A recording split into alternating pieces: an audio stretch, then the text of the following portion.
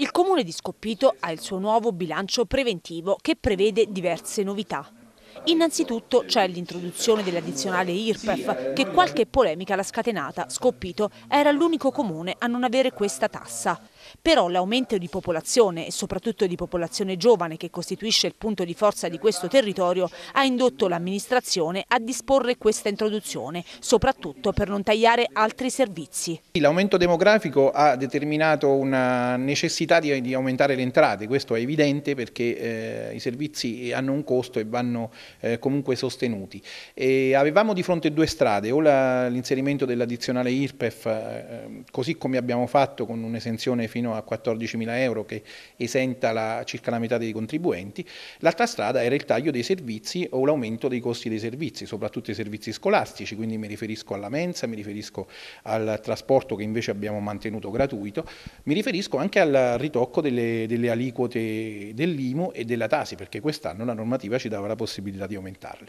Abbiamo scelto una strada diversa, secondo noi più equa, più, più sostenibile da parte delle famiglie e crediamo insomma di aver tutelato quelle fasce di popolazione che hanno già costi elevati. Il bilancio di previsione 2019 contiene investimenti per circa 7 milioni di euro e permetterà la partenza di alcune opere ritenute fondamentali, opere pubbliche, come ad esempio il polo scolastico centralizzato a località Colli di Scoppito, dove ci sarà anche la scuola dell'infanzia, per un importo di oltre 3 milioni di euro, ma anche la ristrutturazione del municipio, la sistemazione degli alloggi di edilizia residenziale pubblica di Collettara, la demolizione ricostruzione dell'edilizia cimiteriale, l'intervento di efficientamento dell'impianto di pubblica illuminazione e gli interventi di sistemazione sulle strade.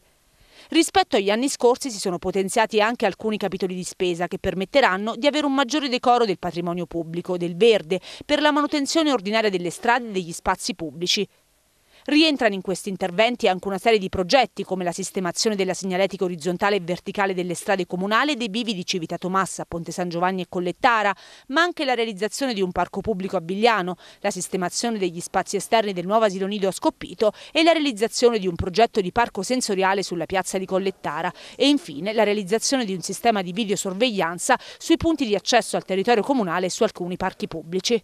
Gli investimenti più importanti sono quelli legati alla ricostruzione del, del dopo sisma, quindi sicuramente quello della scuola che quest'anno dovrebbe, del polo centralizzato che dovrebbe eh, partire entro quest'anno, eh, ma anche la, la realizzazione degli interventi sull'edilizia cimiteriale con la demolizione e la ricostruzione di un'ala del cimitero, eh, la eh, ristrutturazione degli alloggi ERP e poi la ristrutturazione dell'edificio comunale di Scoppito che è inserita in questo bilancio e dovrebbe quest'anno iniziare l'iter.